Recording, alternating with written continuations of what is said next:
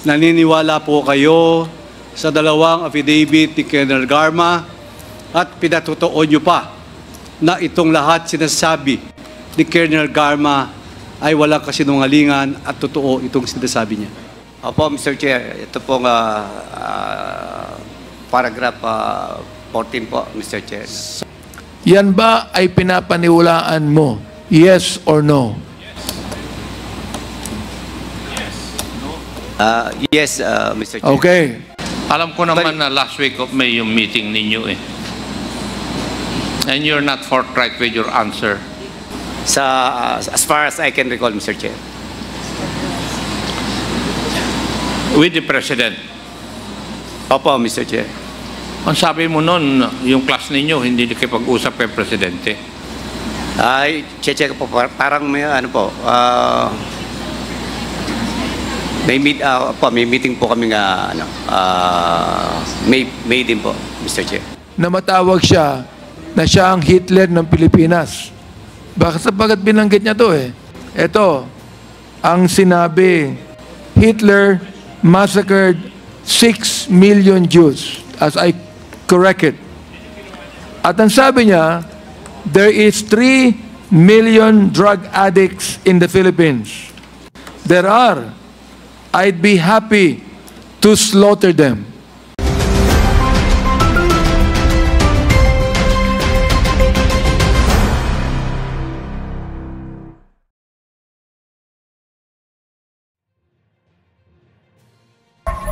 Magandang gabi mga kabalitaan!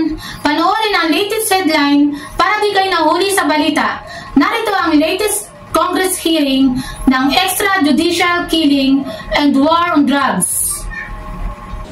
Supplemental uh, affidavit ni Colonel Garma I became aware of the so-called Davao Death Squad through various sources during my assignment in Davao. It was a common knowledge among officers that almost all station commanders had special teams designated for specific operations.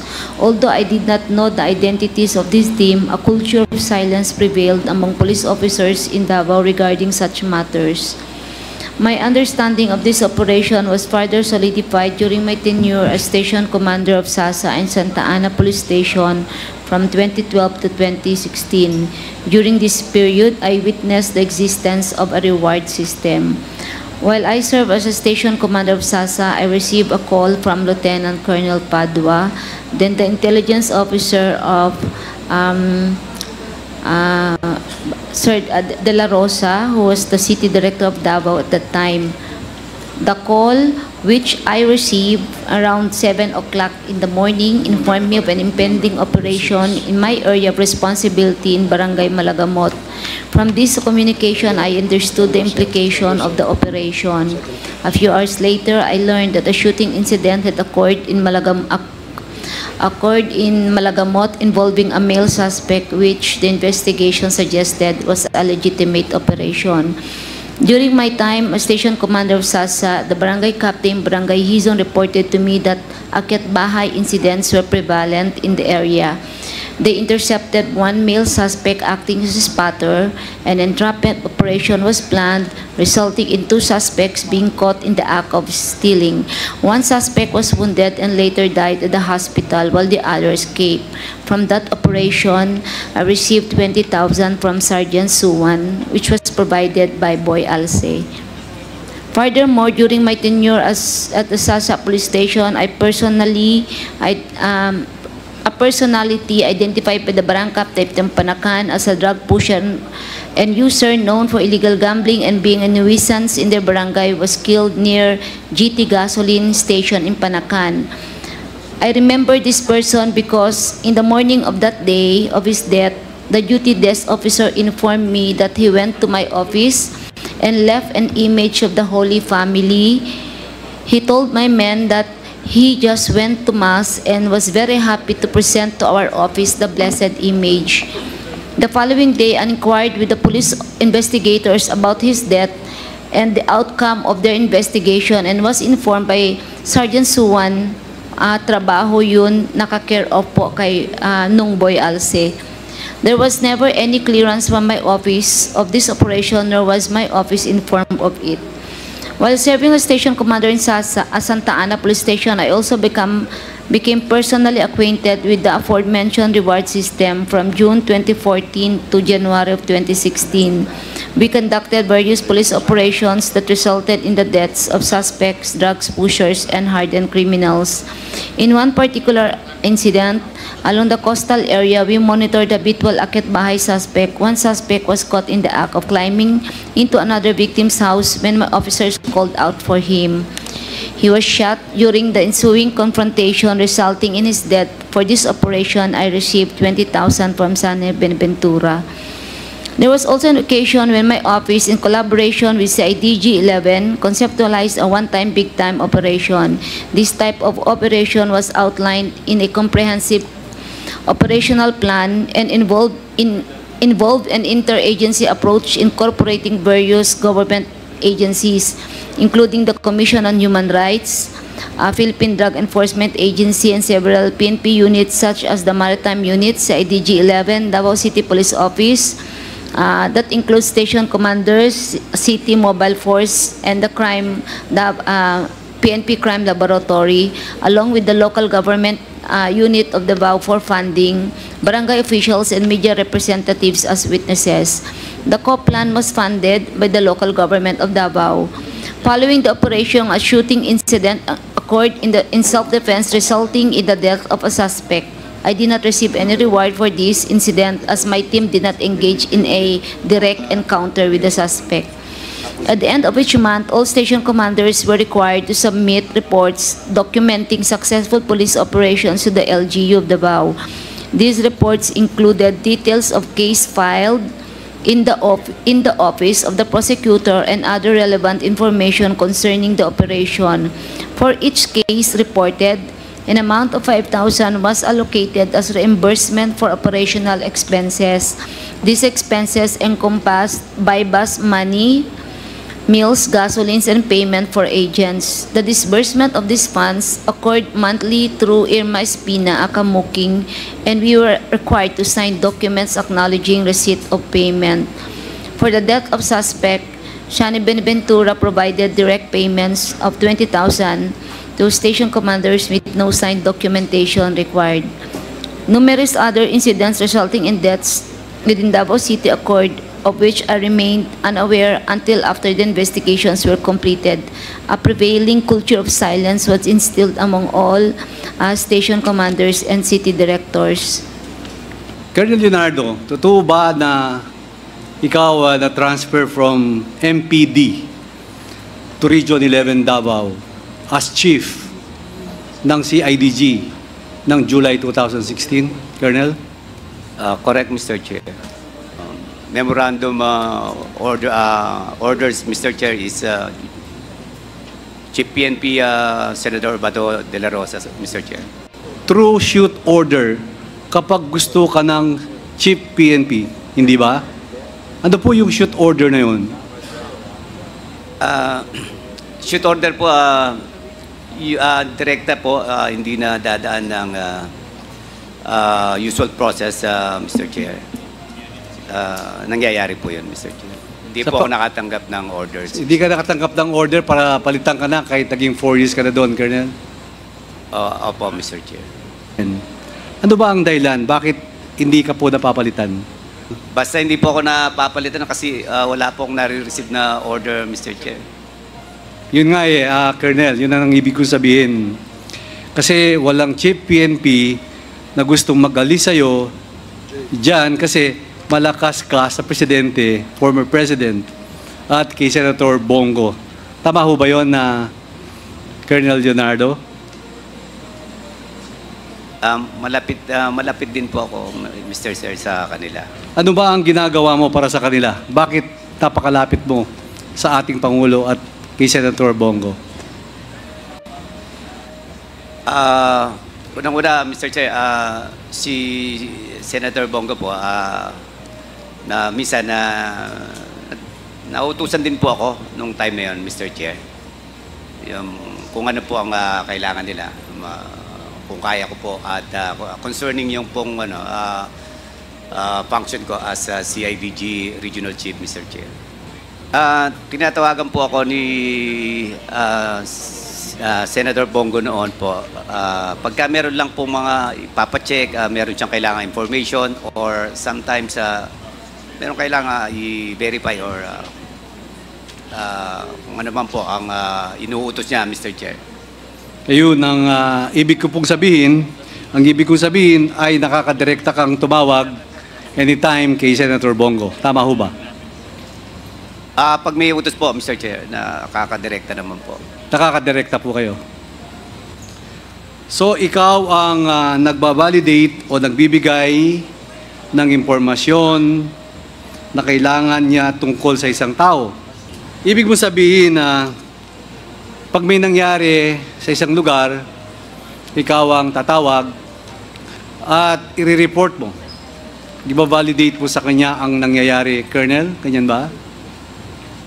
Ah, ah, halos ganun po. Totoo ba yung naririnig ko na kayo ang paymaster? Ah, hindi naman po, Mr. Chair. Sino po ang alam niyong paymaster pag halimbawang may na-validate, may nangyari? Sa aking research, eh, parang ikaw ang kilala mo ba kung sino yung ah, nagbabayad? Ah, wala po akong ah, personal knowledge, Mr. ah, Mr. Chair. Nabasa mo itong first affidavit ni Colonel Roina Karma. At binasa niya ngayon yung pangalawang supplemental agreement, affidavit, sorry. Supplemental affidavit ni Colonel Garma. May tanong po ako sa inyo. Naniniwala po kayo sa dalawang affidavit ni Colonel Garma at pinatotoo nyo pa na itong lahat sinasabi ni Colonel Garma ay walang kasinungalingan at totoo itong sinasabi niya. Colonel uh, Leonardo, I just would like to make a premise of my argument to you, no? Kung maaari ka lang makinig, di ba? Narinig mo na ang ipinahayag ni Colonel Garma tungkol sa kanyang dalawang affidavit. Ayon sa testimony ni Colonel Garma, sinabi daw ni Presidente Duterte sa kanya na kailangan niya ng isang PNP officer or operative who is a member of the Iglesia ni Cristo, indicating that he needed someone of implementing the war on drugs on a national level, replicating the Davao model. Ang sabi niya, ikaw ay nakasama sa meeting na yan. Itong meeting na ito ay preparatory para sa war on drugs ni Pangulong Duterte. But what I do not believe is when you have to kill more than 20,000 people so that drugs can be stopped and it did not even stop. Palagay ko, you being a religious person, uh, Colonel Leonardo, naniniwala din po kayo na ayaw nyo ng maraming mga killings. Ano po? Oo. Yan din ang paniwala nyo, di ba? Alright. Ngayon, ito, ang sinabi ng ating Pangulo. Ikaw quote ko ha. Hitler massacred 6 million Jews as I correct it. At ang sabi niya, there is 3 million drug addicts in the Philippines. There are. I'd be happy to slaughter them. Palagay ko naman ay hindi mo yung, hindi ka naniniwala dito sa sinabi ng ating Pangulo na ayaw ko naman na matawag siya na siya ang Hitler ng Pilipinas. Bakit sapagat binanggit niya to eh? Sagutin niyo lang ako ng yes or no. Doon sa dalawang affidavit ni Colonel Garma na nabasa mo at napakinggan mo, yan ba ay pinapaniwalaan mo? Yes or no? Ah, yes, ah, Mr. Chair. Okay. Naniniwala ka ba na mayroong reward system? Yes or no? Yes, Mr. Chair. Okay, yun lang po ang gusto ko. I rest my case, Mr. Chairman. Sinagot na po ni Colonel Leonardo ang aking mahalagang katanungan. Thank you. According to the affidavit of Colonel Garma, kayo po ay tinap ng uh, former president to form a special team no, to replicate the Davao template. Uh, do you confirm this, Mr. Chair? Uh, yes, yes, Mr. Chair. But according to your statement earlier, contrary to the affidavit of, Ms., uh, of Colonel Garma, uh, hindi po ito natuloy. Hindi po natuloy, Mr. Chair. Hindi po natuloy. So in a sense, nag, you admit that there is a Davao template po ba? Ah, meron po, Mr. Chair, yung ah, ano nga po, ah, tokhang, Mr. Chair. Okay. So, Tokhang, meron pong Davao template. So, given that you were already, although again, you were tapped, hindi nag-operationalize yung task force, but since you have that personal relation, would at times the President contact you during your stint as CIDG 11 Chief? Ah, hindi po ah, si hindi po si former president kumokontak sa akin, Mr. Chair, pag may kailangan sila. Ah, then, uh, Sap Bongo, Mr. Chair. Mm. Ah, so si Special Assistant to the President, Bongo, yung nagko-contact po sa inyo. Opo, Mr. Chair, pagka may kailangan lang po. So it would be SAP Bongo who would contact you for concerns that may involve the President. Tama po ba? Uh, for concerns that uh, he wanted to uh, know about, Mr. Chair. Okay. And uh, generally, uh, Colonel Leonardo, through the chair most respectfully, these are drug war related concerns? Uh, meron din pong mga information na gano'n, Mr. Chair. So, It was you, just a plan, Mr. Chair. oh yun, eh, not a proposal, but there was a plan. And did you submit this, you indeed submitted this plan to the higher authorities? We weren't able to do so, Mr. Chair, because uh, there was this, uh, uh, uh, there was a plan already for the PNP, Mr. Chair. The plan for the PNP that existed prior to the assumption of the administration, tama po ba? Because at the time that you had this meeting in June 2016, hindi pa po nakakaupo yung presidente, tama po? Uh, yes, Mr. Chair. So at the time that you were crafting the plan, how did you know na hindi matutuloy kung wala pa naman op, uh, Oplan double barrel? Ah, meron na pong ah, plano yung ah, sa double barrel, Mr. Chair, ah, prior ah, pag-upo. Ah, bago pa umupo si ah, Senator ah, then Chief PNP Bato de la Rosa, Mr. Chair. So Mr. Chair, uh, Colonel Leonardo, saan po dun yung fit supposedly ng proposed task force ninyo?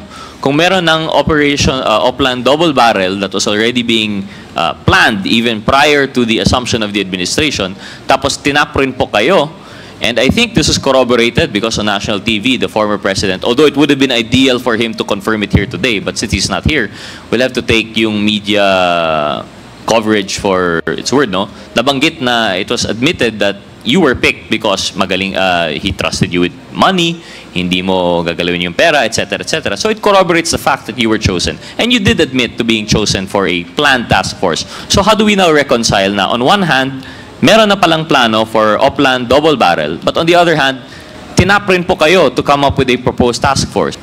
Mr. Chair, uh, sino po kaya yung kasama dyan sa namin? Sino-sino po kayo yung nagpaplano nito na nagulat na nagkaroon ng Oplan double uh, barrel? If uh, yung sinabit mong pangalan, uh, eh, nag-report kay former President Duterte. Yes, Your Honor. Yes. And Yes. sino po yung official na yun? Nirekomenda po ninyo? Ah, Colonel Leo- Leonardo po, Mr. Chair. And before I proceed further, uh, Colonel Garma, tumawag na po ba sa iyo si former President Duterte? Tumawag po. Tumawag? Tumawag na po ba siya sa iyo? Yes, Mr. Chair. How many times? Once po, Mr. Chair. Ano po ang pinag-usapan ninyo kung po pwedeng malaman?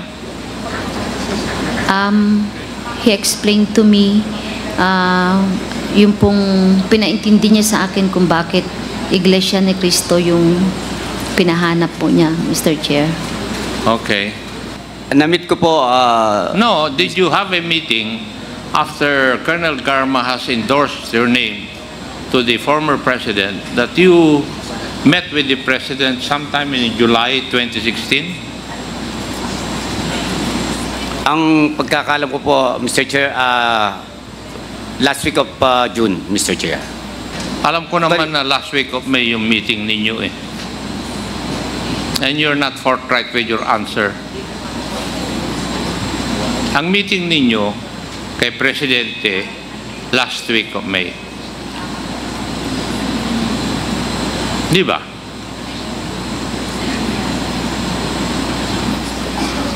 Tama? Ah, ay, check po, par- parang may ano po, ah, may meet, ah, po, may meeting po kami nga, ano, ah, may, may din po, Mr. Chair. Eto na guys, ang legit na lalong magpapa-in-love sa partner mo. Ang Sweet Night Fragrance Collection na nangungunang bumibenta ng 1.9 million sa TikTok shop. Siyempre kasama ang favorite flavor na whipped vanilla and spice, wild vanilla at ang men's blue.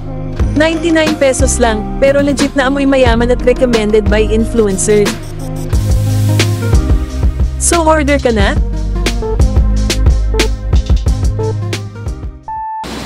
Ay, check po, par- parang may ano po, ah,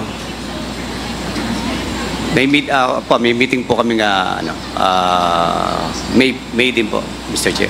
Sa, as far as I can recall, Mr. Chair.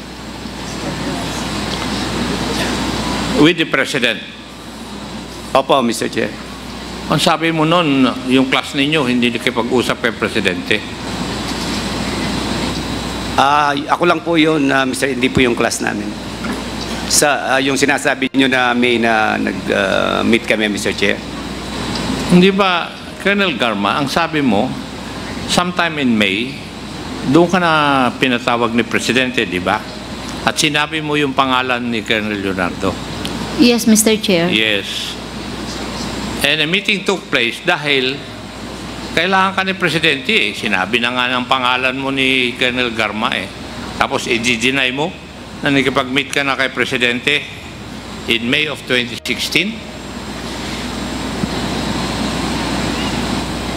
Opo, Mr. Chair, ah, May. Na- Yes. Pero ako lang po, wala pong ah, ibang ah, kasama. Huwag kang magsinungaling sa akin. Baka i-charge pa kita ng perjury. You met with the President with some people. And may know the topic? Ano yung topic ng inyong pag-uusap ni Mr. President? O former President? Actually, Mr. Chair, ah, ano lang po kami, nag... ah, ako po, ah, nandun lang, Mr. Chair, ah, parang... Ganun lang din po, parang ah, nagpakita lang po, Mr. Chair. Hindi naman Ah, po talagang ah. meeting, ah, hindi naman po ako kasali sa mga meeting noon, Mr. Chair. Ibig mong sabihin, hinanap ka ni Mr. President, ah, former President, para lang imit ka? Opo, Mr. Yun Chair. lang po. Ano? Opo. You want me to believe that?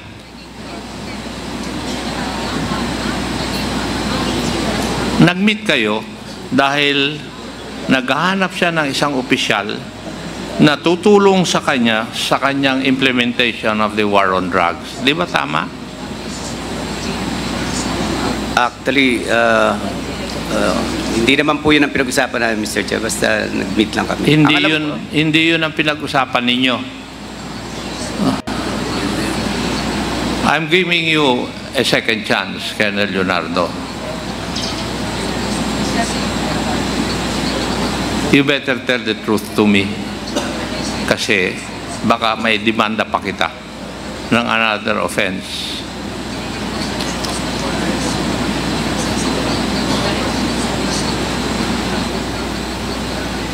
Di ba?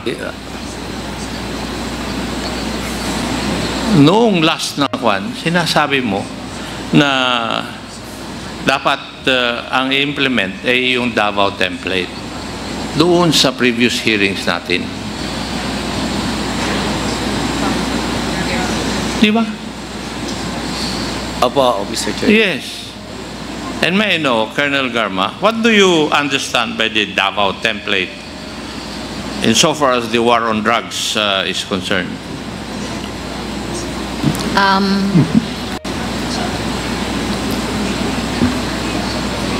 the payments and rewards po, Mr. Chair. Ha? Rewards and payments po There is a reward for what? for uh, successful neutralization of uh, Neutralization? drug suspects. And we say, when you say neutralization, it means the killing? Can be, can be, Mr. Chair, a legitimate operation or um, In your affidavit, uh, you answered uh, the lead chair, the Honorable uh, Barbers, that you received three or more, three, three times uh, monetary reward in the amount of 20,000. Hindi po ba? yes, Mr. Chair. And for what is that? for the um, uh, death of the suspects, Mr. So, Chair. You're admitting to this committee na talaga yung yung Davao template would involve the neutralization of drug suspects and there are rewards for such. Yes, Mr. Chair. Yes.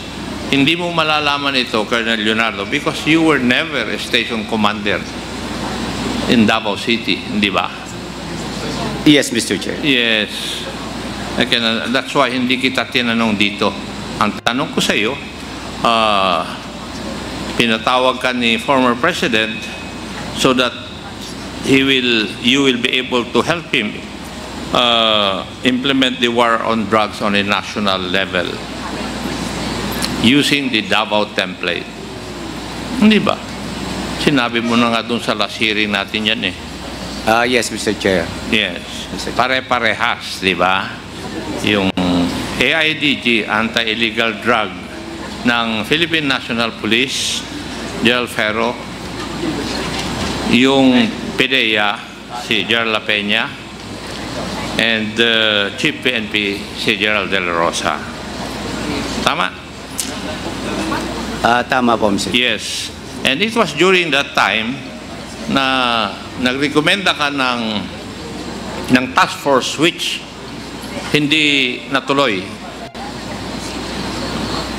Actually, hindi ko po na-recommend, ah, Mr. Chair.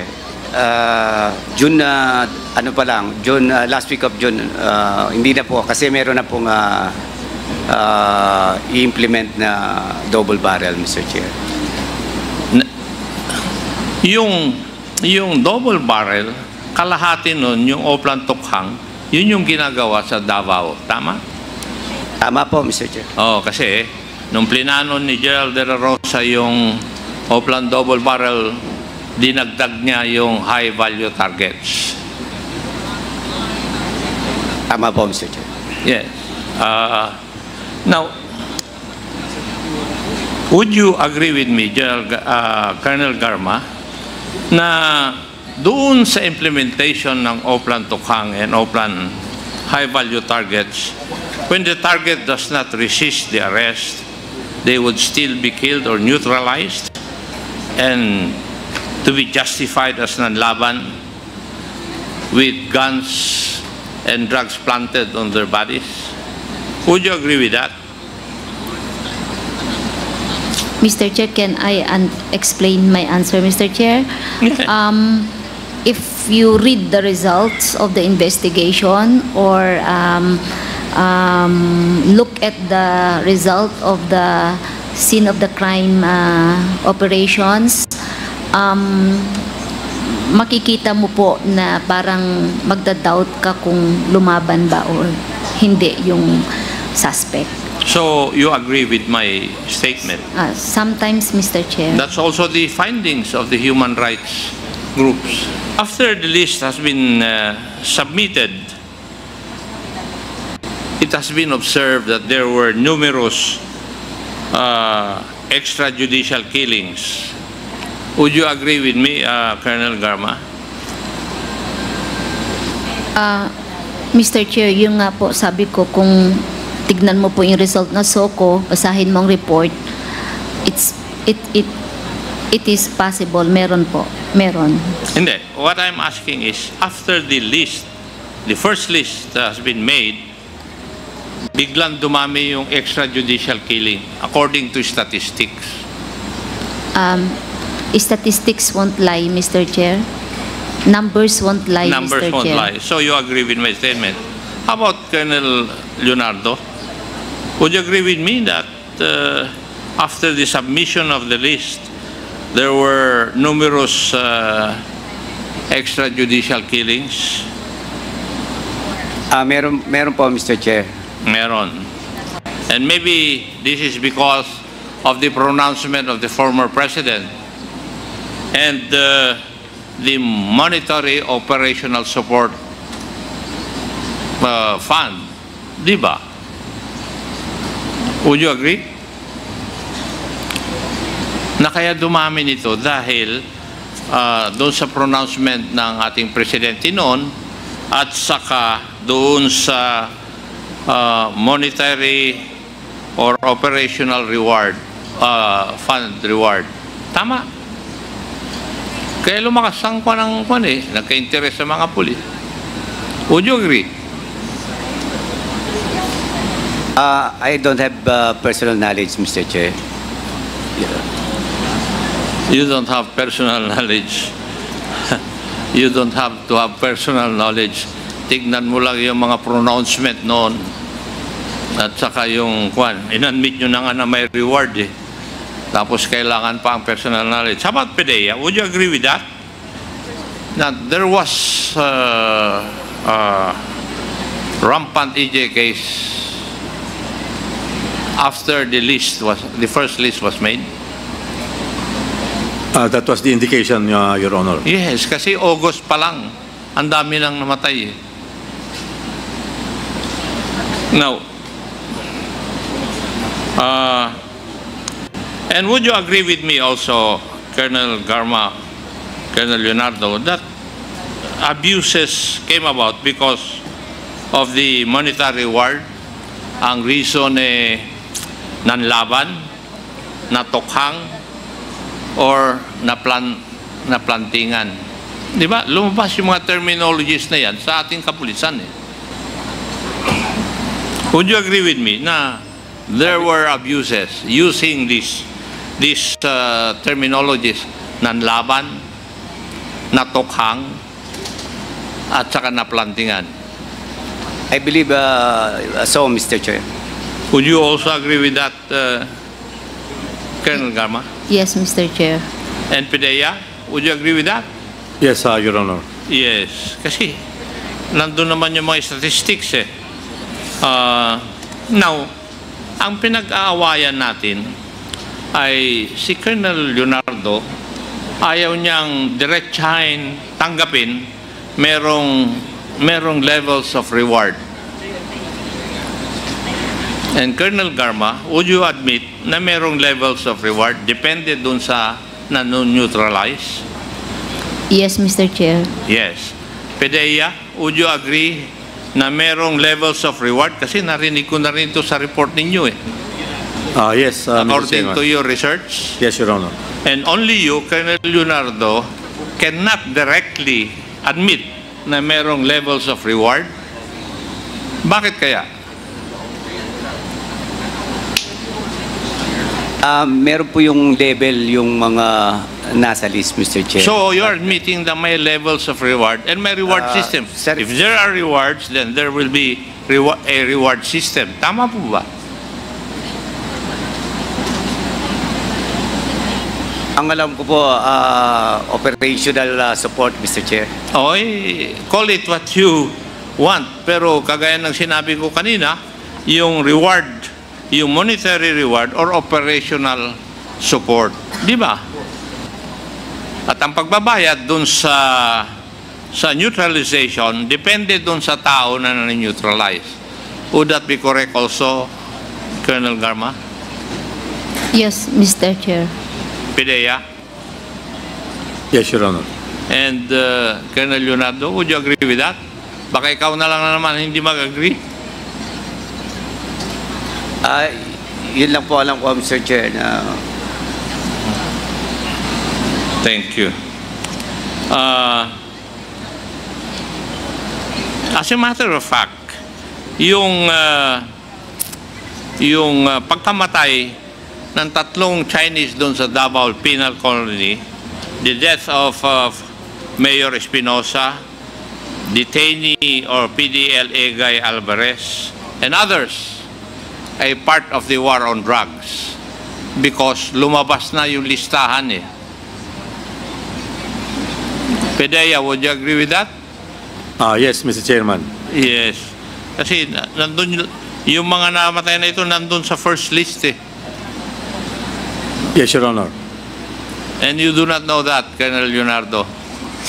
Alam ko po na may... Alam mo. May namatay. And Colonel Garma, are you aware of that also? Yes, Mr. Chair. Yes. Ah, negative, Mr. Chair. Ha? Balitang-balita na yung mga gumawa nito, they received 10 million for the 10 suspected drug lords na namatay. And you do not know that? Siguro, Pedea, could you please research on this? Uh, we are checking on it, on it already, Your Honor. Yes, thank you. And uh, doon din sa Cebu, may mga PDEA agents din na nabatay. Would that be correct? Yes, Mr. Chair. PDEA, tuturin ba yon? That you had agents in Cebu who were killed or neutralized? Yes, Your Honor. Yes. Uh, so, may I know, uh, Colonel Garma, since you were there, were they part of the war on drugs also? Yung mga killings na nangyari during your two and a half year stint? Ah, I believe, Mr. Chair, they are part because sa mga press release po na may mention na they are in the list.